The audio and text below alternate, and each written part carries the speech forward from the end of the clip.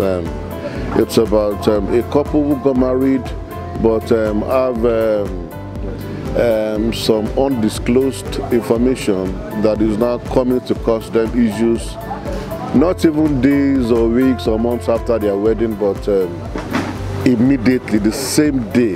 The problem started in the honeymoon suite, in the bridal suite. That was where the problem started. And the first few hours of that wedding was uh, full of problems and challenges